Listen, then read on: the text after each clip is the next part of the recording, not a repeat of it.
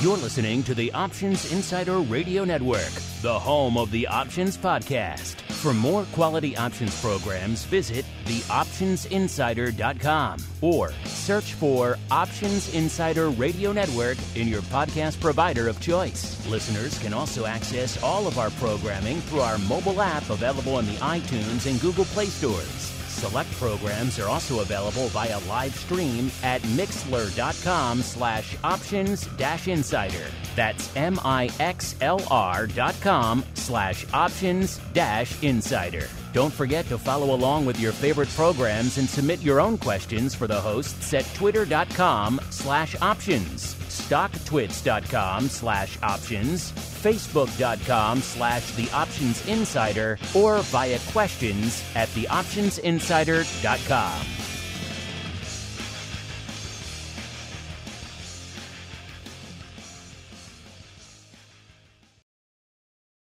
You wanted it, you got it. A radio program that helps teach you options trading inside and out, basic to complex. This is Options Bootcamp. Whether you want to learn how to protect your portfolio, generate income, or even become a master of volatility, the Options Bootcamp drill instructors will break it all down for you. Now, let's get you into peak options trading shape. Here are your Options Bootcamp drill instructors, All right, everybody. That music means it is Wednesday, Education Wednesday. Yes, it is time once again for Options Bootcamp, the premier options educational program. My name, of course, Mark Longo from the TAG OptionsInsider.com, as well as from the network upon which so many of you are mainlining these days. Hope you're having a great trading week out there. Remember, if you're just listening to Bootcamp, man, are you missing out? nearly a dozen other programs waiting for you over there on the old networks. Maybe you like crypto. We have the crypto rundown. Maybe like volatility. We have volatility views. Maybe, of course, you like a little bit more what's trading, unusual activity. We have, of course, the option block. A little bit going on with the advisors and education, asset managers. Also touch on crypto there as well, which is interesting. We have the advisors option, futures options, this week in futures options. You name it. There's probably a show here on the network that touches on that aspect of the options market in some capacity. So wherever you're getting options boot camp, and it's available just about everywhere under the sun these days, make sure you're upgrading to the full network. Of course, if you like what you hear, this show, anything else we do, throw a like, a star, a comment. We've been doing this show for man over a decade, Dan and I. The whole network this January, 17 years. It's crazy, crazy to say that out loud. So we've been doing it for a while. We have a lot of great reviews going back decades, but hey. The algorithms like the new stuff. They tend to favor that new stuff. So if you like what you hear, throw a like, a star, a comment, just like this week's five star review comes from Solo King. I like that handle. He says, Thanks so much for this show and for everything you do. You've made me a better trader. Well, thank you for that. Thanks for taking the time, Solo King and everyone else out there, to rate and review. We do love. Glad to see you're enjoying the show and getting a lot of value of it. That's why we do it here at the end of the day. Of course, if you want even more in your lives, only one place to go, theoptionsinsider.com slash pro. You get even more unusual activity, a whole show of it called Options Oddities. You, of course, also get a little fun show we call Pro Q&A. Just had Scott Nations in that yesterday, tackling all of your great options and volatility and you name it questions, as well as live streams. You can heckle Dan live here on the show and every other show that we do here on the network live. And of course, great giveaways like the Pro Trading Crate. Got to give that away for the month of January now. So stay tuned for that. All sorts of fun. TheOptionsInsider.com slash pro the place to go for all that. As we go around the horn, see who's joining us on the old Options boot camp program today. First, let's go out to the Southern Options Mecca known as Frankfort. we are joined once again by the black hatted one himself, Mr. Dan Passarelli from Market Taker Mentoring. Mr. P, welcome back to Options Boot Camp. How are you doing on this Education Wednesday, sir?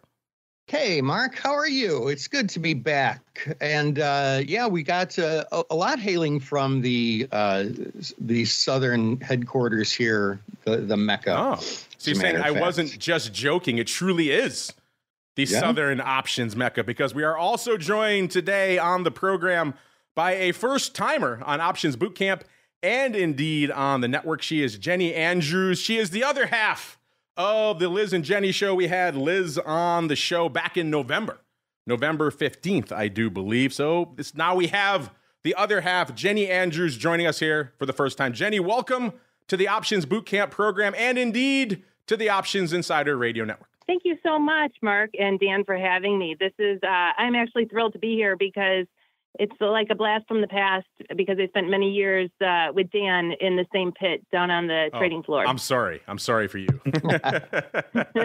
well, you mentioned your, your, trading background. Like we said, this is your first time joining us on the network. So give our listeners a little bit of an overview of your background in the world of options. What picks, what products did you trade, and then uh, what it is that you do over there at Tasty.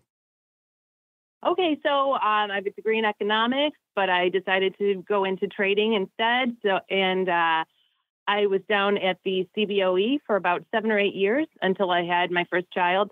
And I spent most of that time in the Bristol Myers BP crowd with Dan. Uh, but back then, it was really the Corning Glass crowd. That was the that was the hot stock back then. Dan, do you remember? Oh yeah, yeah, yeah. It was, wasn't it? Right, Corning Glass. That was the big one. That's what everyone was coming for.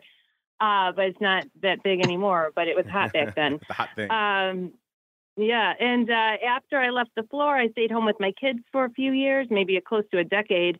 And uh, then when Tasty Trade started, I, I, Liz and I started a show over there, and I've been there since 2011. So it's been great. Been fun. You didn't spend any time in Intel, did you? Uh, no, I don't. Th- you know, I I briefly worked for Timber Hill, which is Interactive Brokers, and uh, I bounced around when I worked for them. But once I started trading on my own, I just stayed in the Bristol Myers pit. I thought we had someone with a similar name in the Intel crowd, but you know, it's it's been might, a while. I could have, I might have been in there. I might have been in Intel crowd briefly. Yeah, it was um, a crazy time but, in that time. Yes, a lot of people coming and going. Yeah, so it's, um, but so it's kind of nice coming on the show and and getting to um, talk to you and Dan because. Uh, I know I work with a lot of people from the trading floor, but Tom and Tony, those guys were mostly in the uh, in the OEX. You know, they're not the equity guys like we are. All right, let's get the ball rolling. A little bit of the old options drills. Well, in boots, time for our favorite pastime, option drills. We're going to take the strategies learned during the show and teach you how they can be employed to achieve a specific objective. Do you hear me? Yes, sir!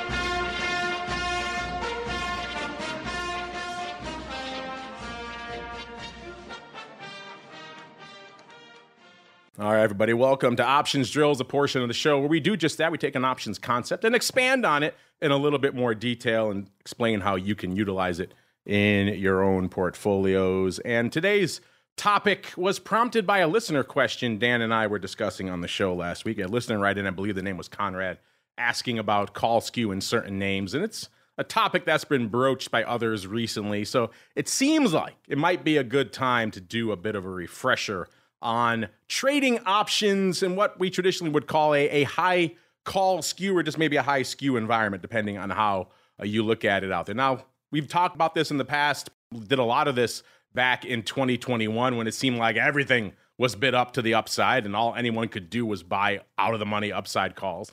Not quite in that same environment right now. It's not quite as ubiquitous as it was in 2021, but there certainly are pockets of it out there. So definitely, I think, worth revisiting here on the show right now. Let's start. know a lot of new listeners come into the show all the time. No idea what the heck we're talking about. Again, if you're not familiar with the terms like skew and others, go back into the archives. We touched on it many times. We spend a lot more time explaining it in more detail there. But quite simply, what we're talking about right now is a high call skew environment. What does that mean? Of course, you have the at the money call, which is traditionally your 50 delta call, right? And then, of course, you have your out of the money calls. And the way skew is usually measured, there's different ways to do it, but most people tend to look at the 25 delta call and the 25 delta put. So that 25 delta call, the level of implied volatility how does it stack up versus the at the money? And how does that compare, of course, to the historical levels that both of those have had? And that's what we're talking about when we're talking about a high call skew environment. Looking at that 25 delta call, that out of the money call,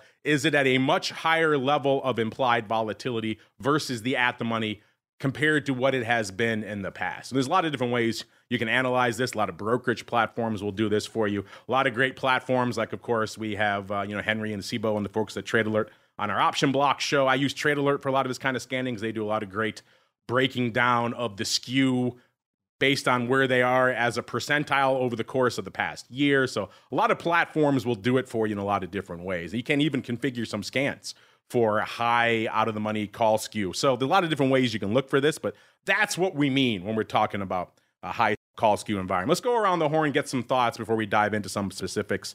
Jenny, as our guest, we'll start with you. Obviously, everyone thinks of 2021 when they think of high call skew environments, but there's other pockets of it throughout time, including right now. So when I say to you, you know, trading options in a high call skew environment, what springs to mind? So, you know, you have those stocks that have been having those crazy runs, you know, NVIDIA, AMD, or you get those that are just on fire and everyone wants to jump on and be part of it. And those tend to have a call skew. Um, I feel like those situations are really difficult to trade unless you're just selling naked calls, which is kind of scary in those situations. Um, because when you have such a call skew, call spreads trade cheap, so you don't want to sell them. Um, and it's hard to sell puts when something's at one of you know towards its highest highest price. Uh, I prefer to find price products that are at the lower end of the range and have a high call skew and just sell puts in those products. Like right now, Tesla or Boeing or Disney, those seem to be lower end of the range, but they have a high, they have a call skew. Um, and I'll usually stay away from the calls, just sell puts. That's my preference because I think it's hard to jump into those products that have been running up like what do you do? You know what do you guys do in that situation? It very much is. It's, it's the opposite of catching a fall. And i was catching an exploding bullet to the upside right? How, how do you do that? Yeah. So a lot of challenges. Dan same question for you sir when i ask you that. When i say when i say the words high call skew environment what leaps to mind for you sir? I kind of do this uh, dance somewhere between considering getting into buying calls, but you know, like you guys just said, that's really tough. But then I look for opportunities where it forms a resistance level and then sell some really, really short term call credit spreads. And you got to be really careful doing that. There's got to be established resistance, um, you know, not at an all time high. You won't want to do that. And um, I will keep it very, very short term because you're still kind of fighting the tape a little bit. So you don't want to have like a like a two week trade on because that resistance can get broken pretty easily. But you know, like the the high the high call volatility is an interesting opportunity. It is indeed. So let's break down some ways you can take advantage of the opportunity. Again, obviously, there's a lot of different moving parts with this, and a lot of this is highly subjective, as Dan and Jenny just pointed out. Uh, but in general, when you're talking about a high call skew environment, one of the ways you typically want to take advantage of it is two strategies that allow you to sell that far out of the money call skew, allow you to capture some of that historically high ratio you're seeing between the far out of the money call and the at the money call. What are different ways you can do that? Some basic ways. Uh, probably the easiest way most people are familiar with is, of course, your very basic covered call. Now, this would, of course, require you to have more faith in the underlying because you have to hold the underlying in this environment. But if you do, let's say, already have the underlying, maybe in your back pocket, you're riding it up, and now you've decided, hey, you know, there's a level here at which I don't mind getting out of this stock. And you see that you're getting a level of premium for a covered call on that strike, maybe somewhere in that out of the money call range. Could be 5, 10, could be more, could be farther out of the money, depending on your preference. That's the nice thing about a high call skew. You could sell a farther out of the money covered call and still get a decent amount of premium for it. So you're giving yourself a lot more room to run on the upside. If you decide to clip it to sell that covered call a little bit closer to the fire, then you're going to get a lot more juice for it as a result. So for covered call traders, this type of environment is fantastic. It really gives you a lot of a lot of juice to squeeze out there, which is great. And again, if you've already had a run or if you have some already some faith in that underlying and you don't mind letting it go at a certain level, this is an ideal setup for you. Uh, the other way to go about it is, of course, if you maybe you don't want to buy the stock, but you like maybe a little bit more upside action to come from this name. And you like being able to take advantage of that at a discounted price. That's where things like long vertical spreads for calls can come in, right? You're buying the at the money. That's probably going to be a little bit inflated because vol is probably going to be up across the board in this name. But you know, you're going to turn around and sell that out of the money call against it. And again, you're going to be able to buy that vertical for a much cheaper level than you would traditionally have been able to in the past because that out of the money call is now much more expensive from an implied volatility perspective. So maybe that vertical would normally in that environment be trading for let's say $2 and maybe you could buy it now for buck 50, a buck 25, something like that. So uh, discounts on verticals. You can get in on action at a much lower outlay, dramatically reduce your risk, put on that position. That's also a very attractive way. Uh, some people like to go the ratio vertical route of you know buying one at the money, selling two. Dan and I have talked many times about being net short units to the upside, especially in a name like this.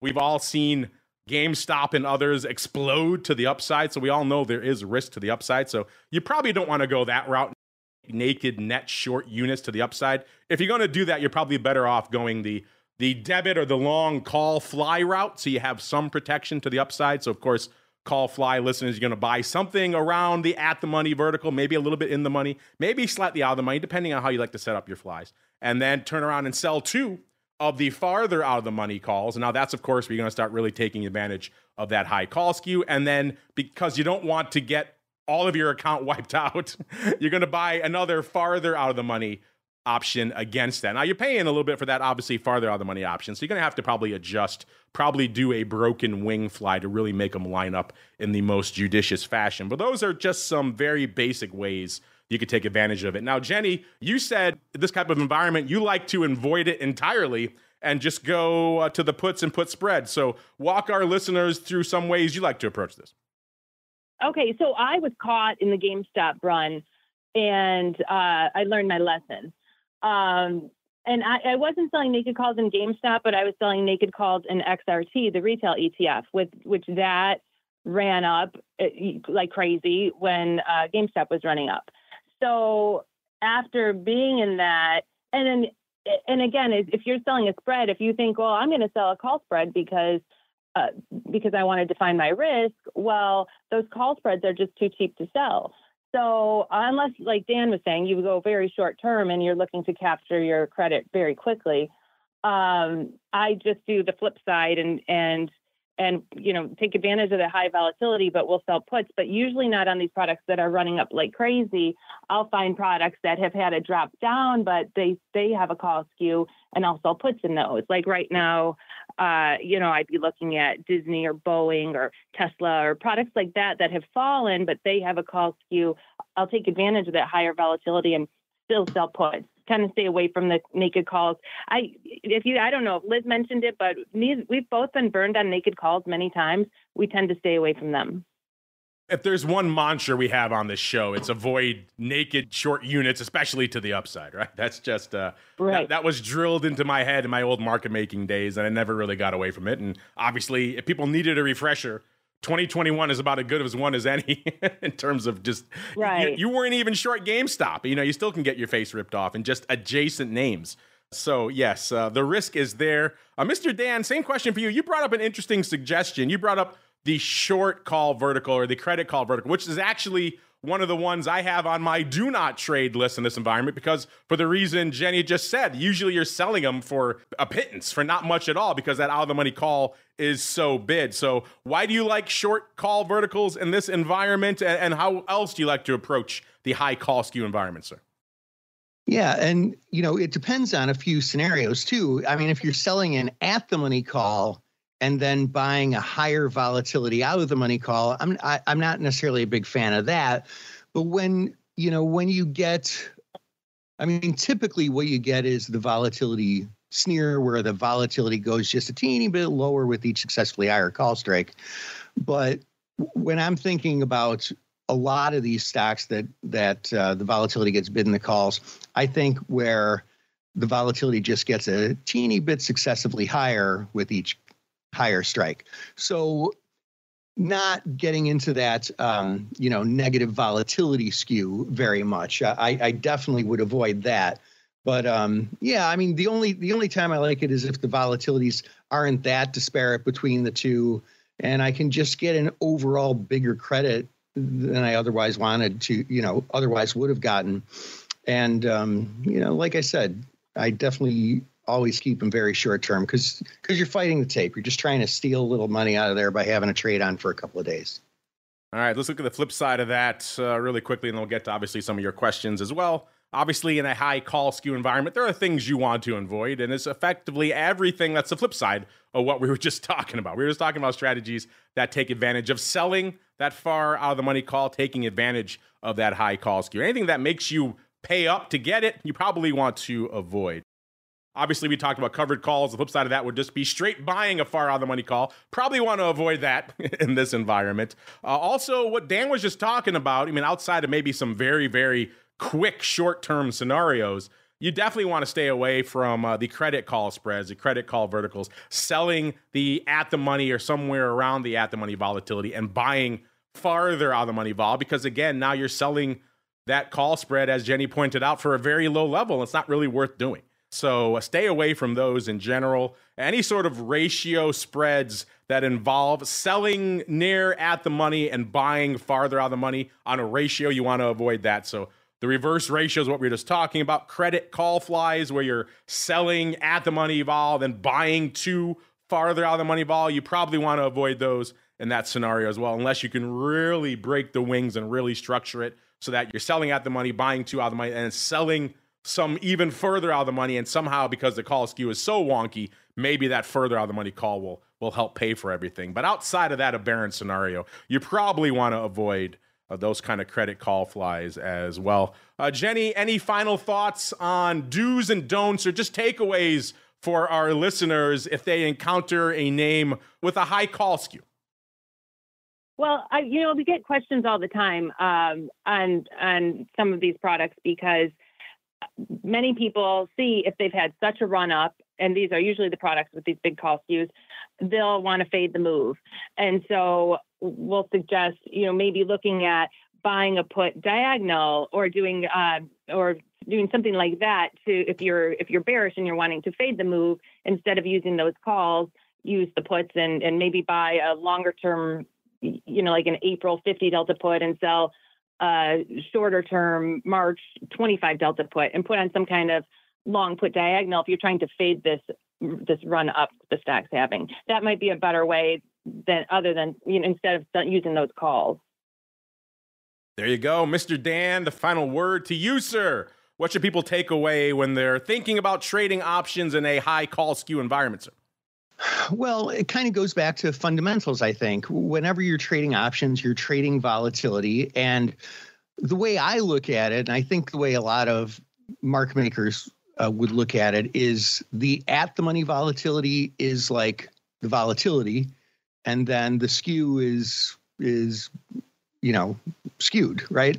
Um, so when we're looking for opportunities, whether to buy or sell options, we need to pay attention to whether volatility is cheap or expensive. And it's it's abnormal for in most stocks, it's abnormal for the calls to have a higher implied volatility than the at the money. So I think it's just important to remain open minded if you're doing covered calls. That could be a gift for you.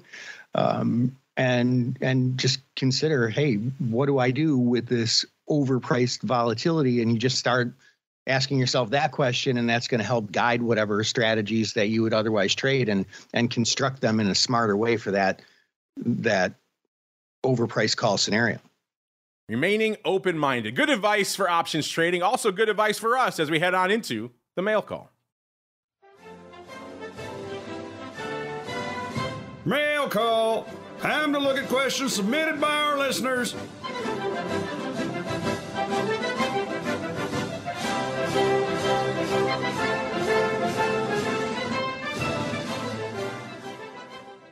Ah, so festive here on Options Bootcamp. It's always Flag Day. It's always Fourth of July, even in the depths of winter here in Chicago. Whenever we do the show, it's always fun. And Jenny, they didn't prepare you, so I won't make you come with a question of the week for our audience. We'll save that for another time. Instead, I'll make Dan do the heavy lifting this week. Mr. Dan, the folks are waiting with bated breath. What is your market taker question of the week?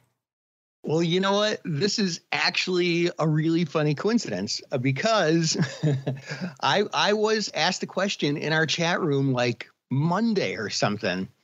And the question, Jenny, you're going to love this. the question was, what is uh, somebody was talking about a zebra spread and that's what we had that guy just asked us that on the show. Oh, Remember, no, he wrote oh, in. That was on the show. He wrote in with the zebra. Yeah, that was his suggestion, and we had no Oh, idea yeah. what the hell is he was funny. talking about. Yes. I, I, I- I knew somebody asked me recently. Okay, yeah, so it's on the show last week, uh, and I was like, I don't know.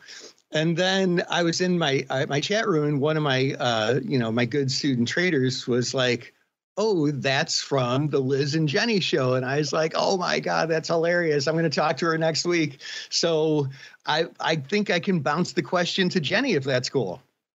Oh, so Jenny, you have you guys have another animal named spread that we're not aware of here. I mean, so when, when Liz was I on last wanted- time, she she walked us through the jade lizard. Dan and I weren't really familiar with it. We, as he mentioned, we had a listener reach out to us last week mentioning the zebra. We had no idea what the heck he was talking about. so I'm glad you're here to set us straight.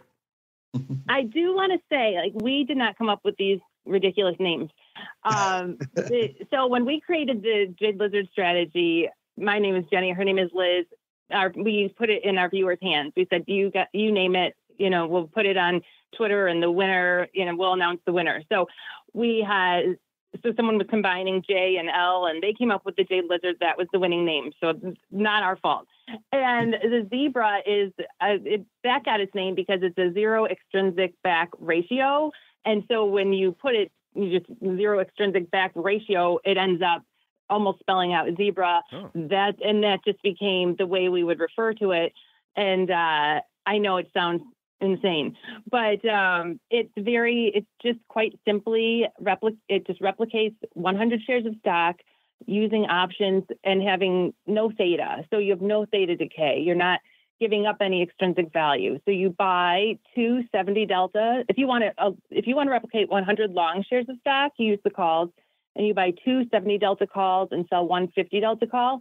So you're you're getting 90 deltas, but you're completely washing extrinsic value. And then on the put side, you would do the opposite. If you want to have 100 short shares of stock, you would buy two 70 delta puts and sell one 50 delta put. It would give you 90 short deltas. So just it acts like stock, but it's much much uh, less capital, and it will make money one for one. But your risk is is capped. You don't have the unlimited risk. Interesting. Interesting. So now I know the next time someone sends us in a weird anthropomorphic uh, spread name, I'll know to go to you guys first. Oh, it must be one of another. This is the you crazy plug, If you plug it in, if you plug it in and look at the analysis, it is just a, a back ratio. That's why we call it the zero extrinsic back ratio. I like it. I like it. Oh, there you go, Dan. See, Jam, we were just joking about this last week. See, everything comes full circle here. Um, we were we were joking about Jade Lizard before that, and then Liz came on and uh, she taught it to all of our listeners, and then just randomly we get the zebra, and now here we are. The options world is very is very fickle at the end of the day. I like it. I like it. all right, so good one, Mr. Dan. I like that.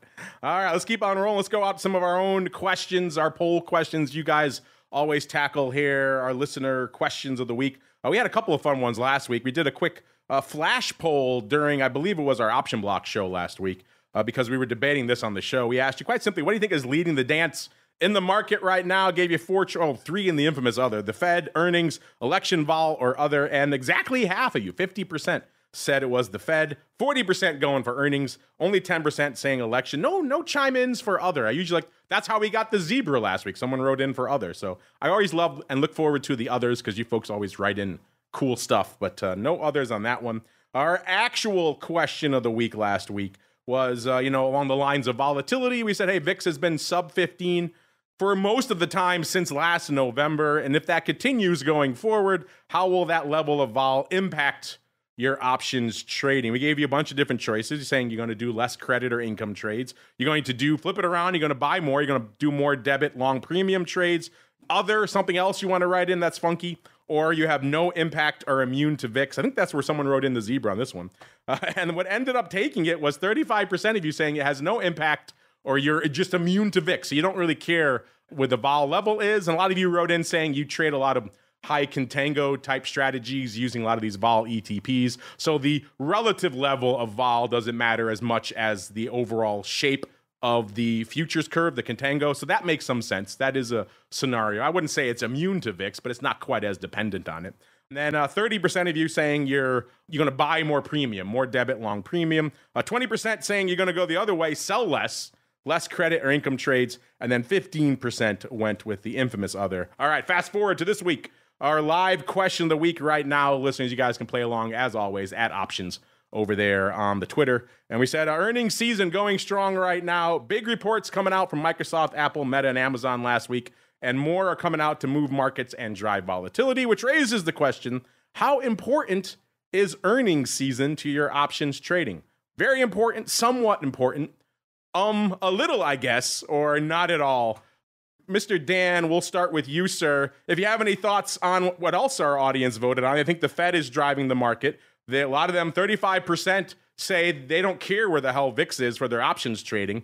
And then B, what do you think they're voting for right now in terms of how important earnings season is to their options trading? Oh, well, I mean, as far as me, I I say it's very important. And I say that because like I put out this daily video and a couple days ago the video was the market is watching the wrong thing. Everybody's focused on the Fed, but it turns out almost not mattering because when we get bad news, the market goes up. And when we get good news, the market goes up. Um, and like we already know what the path of the Fed is, but some people sort of uh, try to get ahead of it and be overly optimistic. But what really ends up mattering is earnings, is like the PE ratio of stocks and or the market itself, especially the market itself, I would say.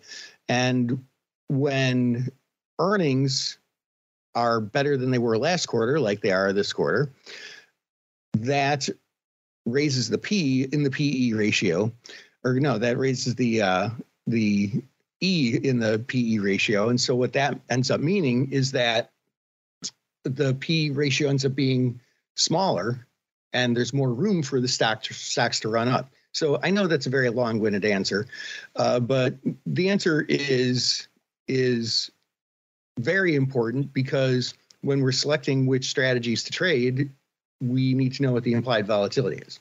So you're going to say very important. You think our audience is there as well?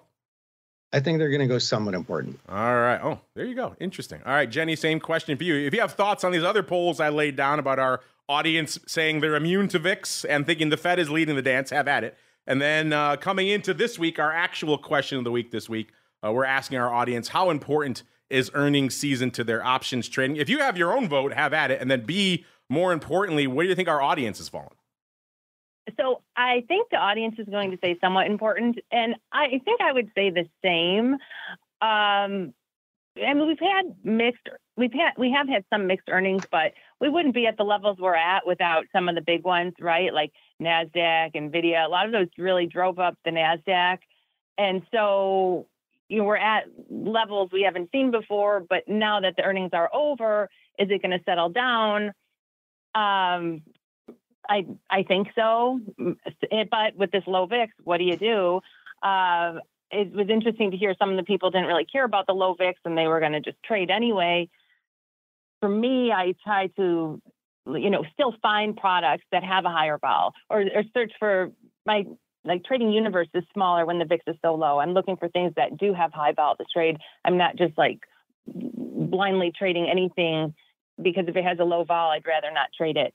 Um, but uh, but they are some great questions, and I think earnings have been tough for some people because we have had some outlier moves, and so a lot of our viewers have said, you know, oh, I've had it with earnings. Um, it, we've had too many outlier moves. I'm not going to do them anymore. But they have affected the market and and the and the up move we've had. So it does affect the market. I think the viewers will say somewhat important. I don't know how many of your viewers are active earnings traders. Yeah, let's get into it. Obviously, it's hard sometimes to get caught on the wrong end of an 80 handle move in, in meta that could leave a mark. So I could see why some right, of your right. some of your listeners are, would be uh, would not be a fan. We tend to mostly counsel on avoiding it whenever possible, but sometimes it's unavoidable. You want to trade around. I know Dan does a lot of you know obviously earnings trading with a lot of his systems, so it is very subjective. I know for a lot of our listeners, they tend to mostly trade around it.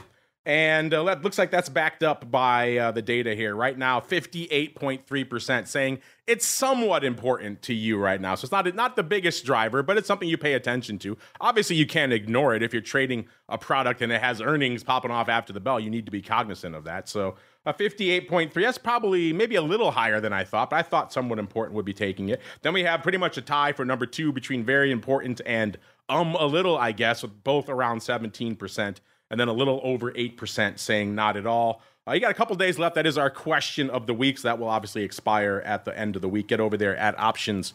Make your voice heard out there. Listen, let's keep rolling. Let's go out to this question here from JJL. Sent it in last week. Didn't have a chance to get to it on the show. He says, Should I apply the lesson about not selling covered calls from your great covered call debate episode uh, to short puts as well, since they are the same thing? Interesting question. You know, before we get there, Jenny, I'm curious uh, for your take on covered calls right now in general. You know, we've been talking about them on our show of late. In fact, we had a, a good episode a few months back where Dan and one of our other guests, Mr. Matt from Orats, were in a heated debate, locking horns over whether it was a good time to do covered calls now or not so much. Dan was on the pro side, Matt was on the con side.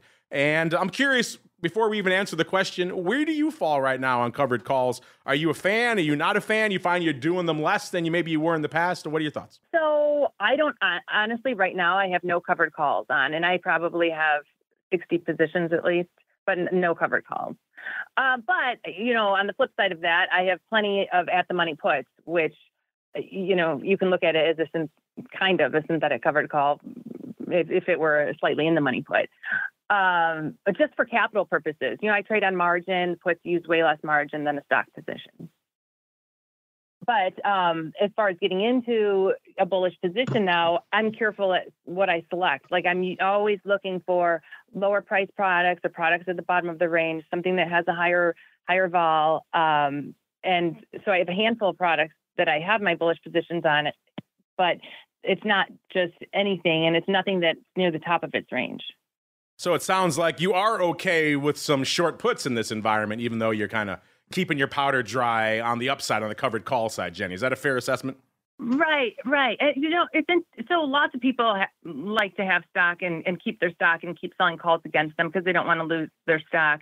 I understand. I understand that. But when you're when you start out as a trader and you come from the trading floor and you just are an options trader, uh, you know, there's a lot more capital efficient to just uh, trade options when those puts get put to you, do you turn around and wheel out of the stock? What is your what is your next step after that? I'm curious.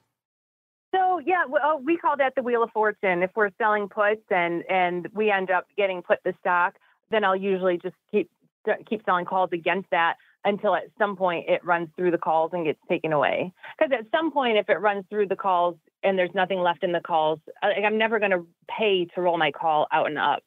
I, will never pay to roll a call. Like if it gets to the point where I have to pay to roll my call to move it up, I'll just close the position. I recall Liz was a, a, fan of the wheel. We had a long talk about the wheel, I believe. The wheel. When she was on. Yeah. Many different names. You guys call it the Wheel of Fortune. We called it uh, the Wheel of Fun, Wheel of Death, all kinds of fun. Triple hmm. income strategy, one of our hosts calls, which I hate, but he loves it. So it has many different I, names, the wheel. and some people, you know, some people like to hold their stock. They like to get their dividends and uh, they don't want the tax repercussions of selling the stock. So I get it. There are plenty of people who have stock, they have their sell their calls against it. And if I if you're already in that and you don't want to sell it, sure, keep selling calls against it. Uh, Mr. Dan, sir, same question for you from our buddy here, JJL.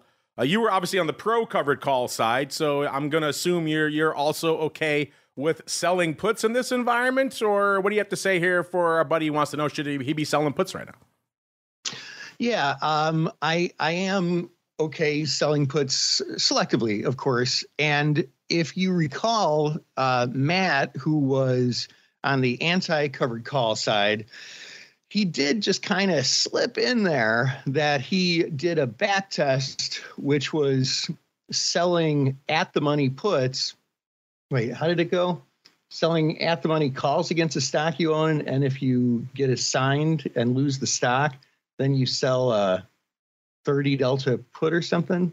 Uh, he had a put strategy that's he said a, a, put selling strategy that he said was outperforming the market. I forgot exactly uh, what it was. I, I, thought it had something to do with it. I didn't hear it because he was too busy hurling invective at you the entire time that intense debate. I was just trying to hold him back virtually, of course. So yeah, I mean, in a lot of ways, it's a challenging. I mean, in in general, in a lot of ways, it's a challenging environment for covered calls and cash secured puts. But like Jenny pointed out, like you know, if you pick your spots and you do it on the right products, you do it on the ones that uh, you know maybe are not at an all-time high and that maybe do have a little bit of overpriced volatility to it. Um, yeah, I mean, I'm I'm definitely not ruling out uh, covered calls and cash secured puts. All right, that music means we're coming up against to here. Let's get a little bit of listener love more on the way out. We have a. I was just joking about this. Looks like our pro members agree. We have one of our pro members, Age Adele Aquarius, listening and saying, uh, after all this talk of zebras and jade lizards, he says, pretty soon I'll need a degree in zoology to trade options. So there you go. There you go, Jenny. You're luring all of our listeners to the dark side of anthropomorphic option spreads. So there we go. Uh, we got a little bit more listener love here. It comes from, I like his handle, BTC Vix. Even though that wasn't always his handle, he wrote in uh, about a month and change ago. He said, uh, Mark, when, when can I get an OG follow from you for being the first person to talk about Bitcoin futures and options back in the 2013 mailbag section? He said he wrote in as Bitcoin Bravo then. And yes, I vaguely recall that. 2013, you were definitely ahead of the game. Uh, so yeah, you got you get a follow for that. We don't follow many people out there because a lot of noise on Twitter, obviously. But you know what, Mister uh, BTC Vix, aka Bitcoin Bravo, for being so well timed on the crypto questions front, being ahead of the game, you get a follow out there. He was excited. He wrote in saying, I finally followed by Ad Options, a true legend in the space. And boy, did he know how to choose the right handle back in 2007. Yeah, we had a little bit of good fortune on the Twitter side. If truth be told, I was just lazy. I didn't want to write Options Insider every time. So I just grabbed Ad Options. If I knew how much of a, of a land grab Twitter would become. I would have grabbed everything. I would have grabbed CME. I would have grabbed NASDAQ. I would have grabbed Schwab. I would have been the biggest Twitter squatter on the planet, but I was just being lazy. It turned out to work out. We have a pretty fun handle over there at Options, and we're happy to follow our listeners who've been listening for a long time, sending in so many great questions. And obviously, we're quite ahead of the curve. Congratulations to you there, uh, Bitcoin VIX. But that's going to do it for this episode. Jenny, Great job in the guest chair. Before we go, if there's any other thoughts you want to leave our audience with, now is the time. The floor is yours. Uh, I will say uh, one of my favorite things to do, and it it violates some of our rules that we have over at Tasty, but um, I do like finding products that I, that I, I'm interested in or wouldn't mind owning, and just selling weekly puts, weekly puts until uh, until then you would get put the stock and then and then turn it into your covered call. Uh, so that that was that did well for me last year, and I am doing that in a handful of products this year. So that's my trading tip of the day. There we go. And if people want to check you out at your day job, where should they go? What should they do? I am on live every Monday through Friday, 10 to 11 Central Time at uh, tastylive.com tastylive.com. It's free and uh, it's fun. We have a nice community of people. I'm also on the road. Uh, we're on tour this year. I'm going to be in Houston in a few weeks. So you can check our tour out at uh, tastylive.com forward slash events. And uh, we're going to be all over the place this year. There you go. Check them out on tour. And Dan, if they want to go on tour all the way to the Southern Options Mecca of Frankfort, what can they find when they get there, sir? uh, yeah, you'll find MTM World Headquarters here in Frankfort. Um, and but I'll tell you what, you don't have to make the trek all the way here. You can find us on the interwebs. Just go to markettaker.com and um, and join us. Click the join free button. We've got some free classes and such. You can join our cla- uh, our chat room for free, and we'd love to hear from you. It is funny. All the Frankfort invading uh, Options Boot Camp this week. It truly is the Southern Options Mecca. And there's a chance we all cross paths on the Cboe back in the. How weird. The options world, very incestuous at the end of the day. That is going to do it for us on Options Boot Camp. Also going to do it for us on the network today. Back again tomorrow, listeners, with your double dose of the option block with our friends over there at Cboe and the Flow Master joining us for a lot of great uh, data and analysis and what's trading. Then after that, for a whole bunch of futures options with our friends over there at CME this week in futures options. So stay tuned for that. Friday, of course, back to talk a whole bunch of vol on volatility views. Who will be our guest? Got to tune in to find out. It's been a great guest roster already, and the year's just getting started. And then after that, exclusively for our pro folks, we come back for a whole bunch of options oddities. We get weird, we get wild, we uncover some crazy trades out there. So check that out. If you want to check that out for yourselves, only one place to go, theoptionsinsider.com slash pro is a place to get access to all that fun and a whole bunch more. Then we're back again next week, all the way through to next Education Wednesday, another episode of Options Bootcamp. Stay safe out there, everybody. You're listening to the Options Insider Radio Network, the home of the Options Podcast. For more quality options programs, visit theoptionsinsider.com or search for Options Insider Radio Network in your podcast provider of choice. Listeners can also access all of our programming through our mobile app available in the iTunes and Google Play stores. Select programs are also available via live stream at mixlr.com slash options dash insider. That's M-I-X-L-R dot com slash options dash insider. Don't forget to follow along with your favorite programs and submit your own questions for the hosts at twitter.com slash options, stocktwits.com slash options, facebook.com slash the options insider, or via questions at theoptionsinsider.com.